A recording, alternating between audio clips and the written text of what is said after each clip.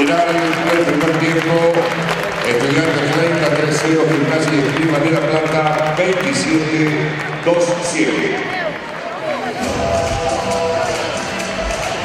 Octubre, Internacional del Cáncer de mar.